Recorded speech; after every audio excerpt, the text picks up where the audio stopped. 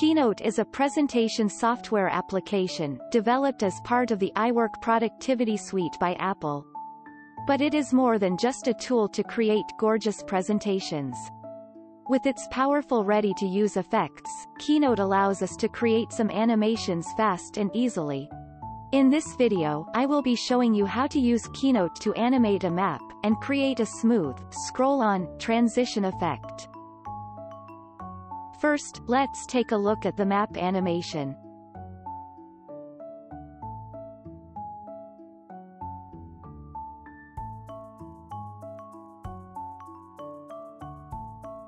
Open Keynote.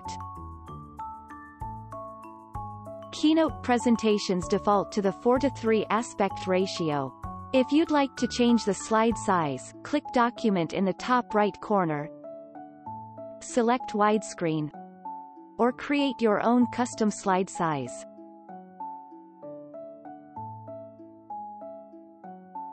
Go to Insert, click Choose, and select the map image you want to animate.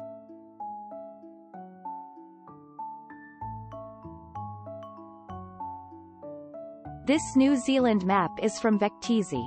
Vecteezy offers thousands of graphics, created by vector artists all over the world. You can download their graphics for free, and even edit them directly on their website. This comes very handy, especially if you don't have any vector graphics editor on your computer. Another free online vector graphics editor is Vectr. You can use it on your desktop or in your web browser to create simple, clean vector graphics. After downloading an illustration from Vecteezy, simply drag and drop the SVG file to Vectr. It may take a while for Vectr to process the layers, but once it's done, you can edit the layers however you like. Change the file size, and export to PNG, JPG, or SVG file formats. After importing the map to your slide, let's add a text to demonstrate what the map is about. To add a build-in effect to the map image, select the image. Click Animate, and choose Add an effect for build-in. Keynote has many dazzling effects for you to choose from. And each of these effects also comes with different direction options.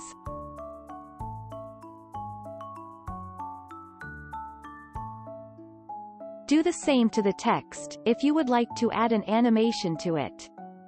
One of my favorites is the trace effect.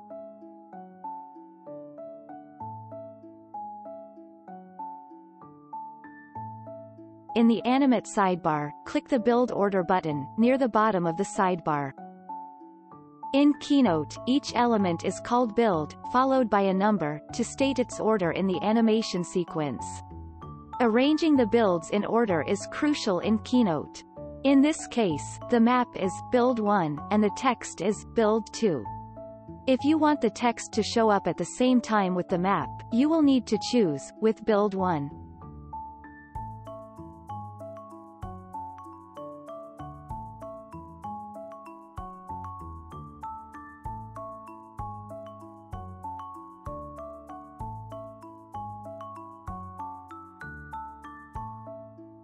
Draw a line by using the pen tool.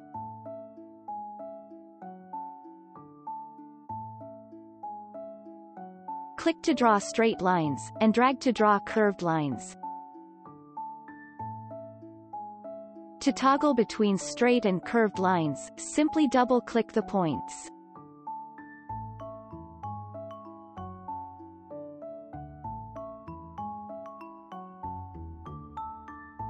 To change the line style, go to Format, Style, and then select the stroke style you like.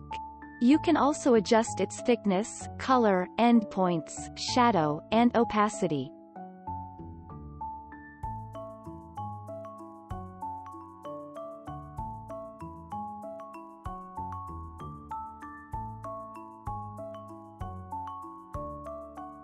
Now, to animate the line, simply go to Animate, and add the Line Draw effect to the line.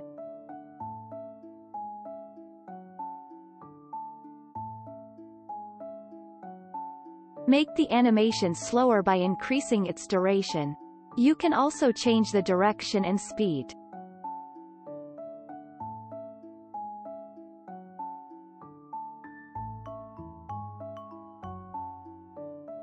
By default, the line animation will start on click.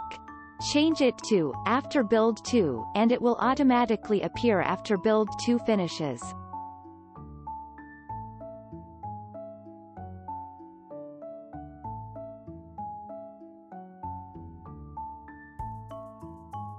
You can add a location icon from the Shapes library. Hundreds of shapes are available from the Shapes library in Keynote. After you add the location icon, you can add an effect to it. To make the icon shows up after the line animation is done, choose After Build 3 for the icon from Build Order window. And you've got this cool animation within just a few minutes.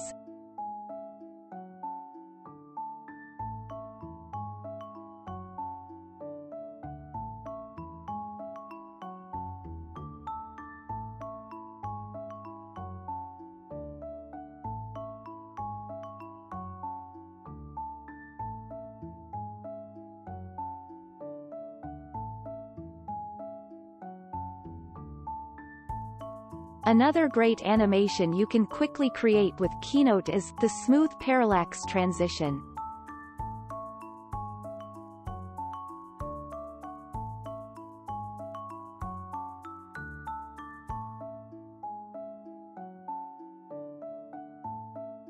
Select all of the slides. Go to Animate, and add the magic move effect.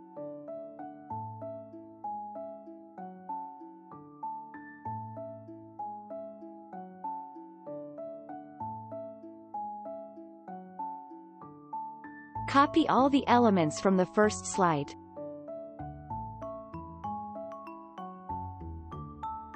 Then paste them to the second slide. Place them outside, on top of the elements on the second slide. Change each element's size, position, and rotation.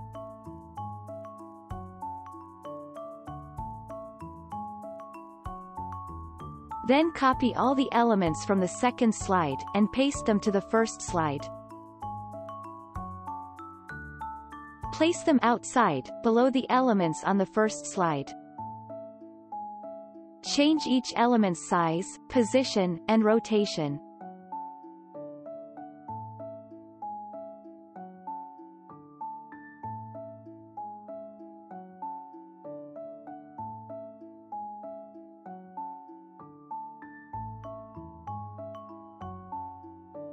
Select slide 1, click preview, and you will see a very smooth, scroll on, transitions between the two slides.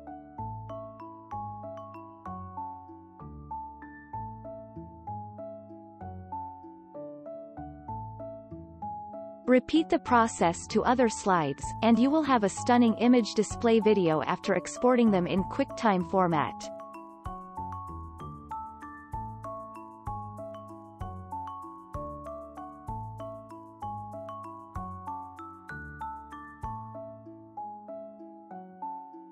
To export a Keynote project, choose File, Export to.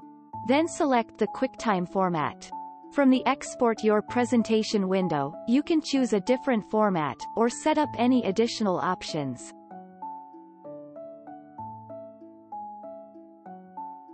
Click Next. Enter a name for your file and select a folder to save it to. Click Export.